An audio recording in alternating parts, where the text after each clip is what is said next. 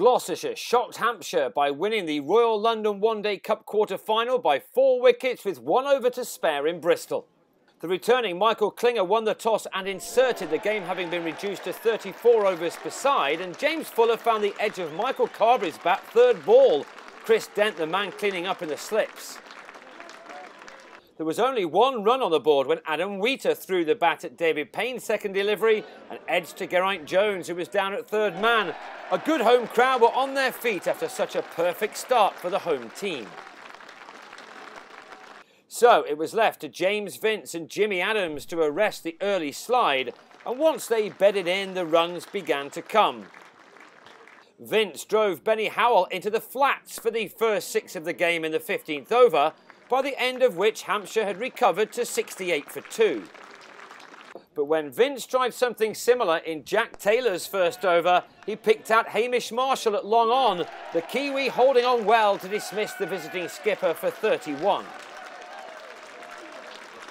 Adams' knot was now the crucial one for his team, and he kept the board ticking over on his way to a half century, which was made off 64 balls, this one of his five boundaries.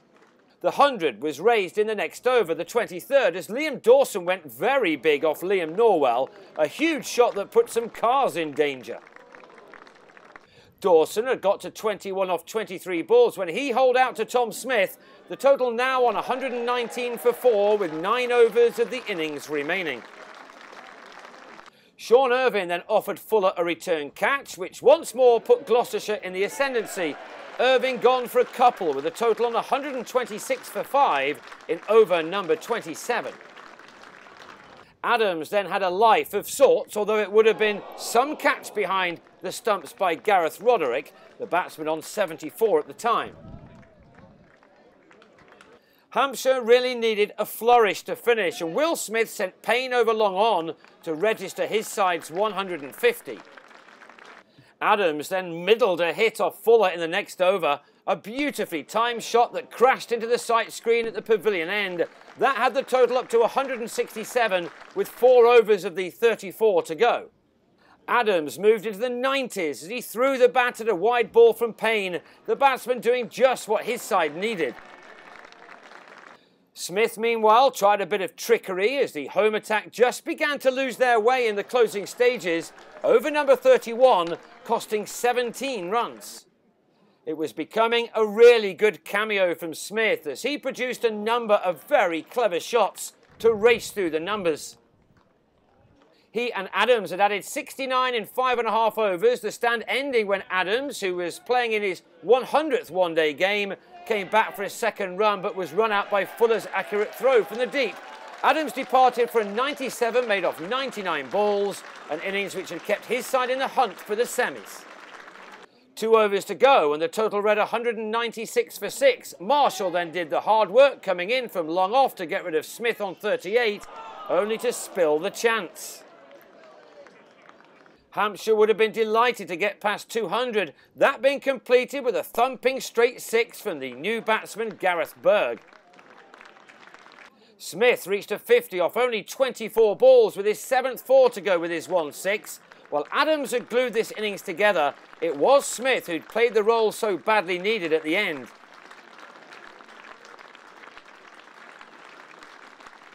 He was out to the last ball as he found Marshall running around from long on, 50 runs had come off the last four overs and 106 off the final 10, and that had given Hampshire something to defend, their 34 overs ending with a total of 217 for 7. Gloucestershire looked to Klinger to maintain his excellent form in this competition, which had seen him make 307 runs in the groups in spite of injury, which saw him play only five games. He was dropped first ball as Adams missed an opportunity in the covers.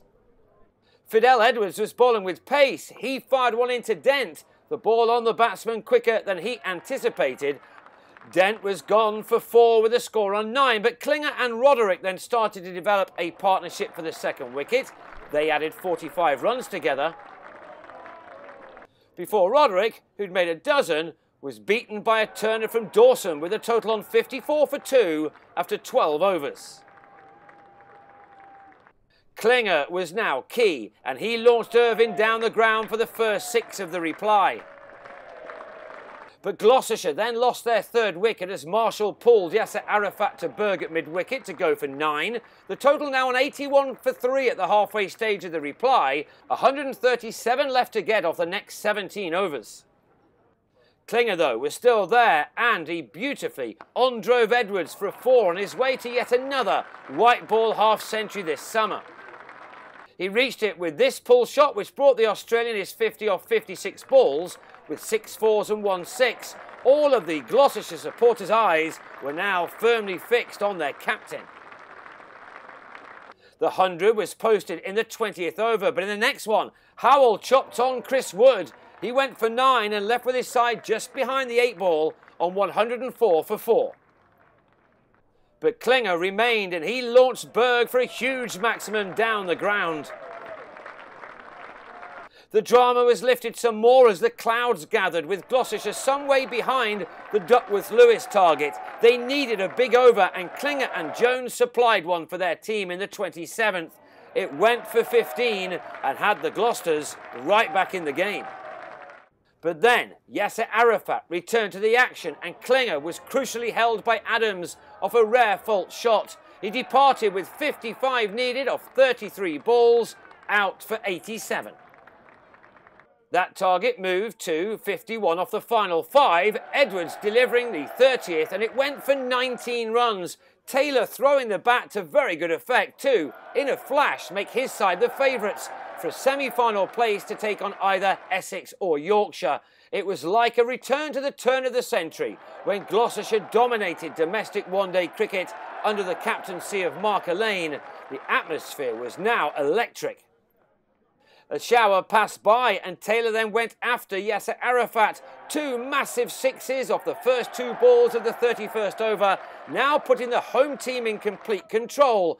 It was another exceptional knock from Taylor, who's more than once this season won games for his team from almost nowhere.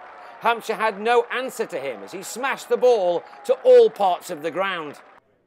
Thanks to him, now only 15 were required from three overs and the game was almost up but then, with 11 needed, Taylor tried to clear the rope again, but found Ervine at long on.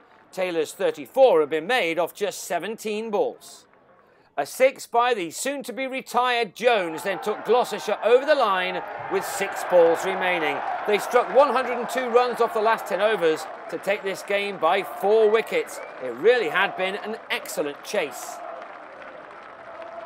Gloucestershire ended on 218 for six after 33 overs, Jones unbeaten on 39 from 34 balls. So it is a semi-final place for Gloucestershire and on this form, neither Essex nor Yorkshire will fancy playing them too much.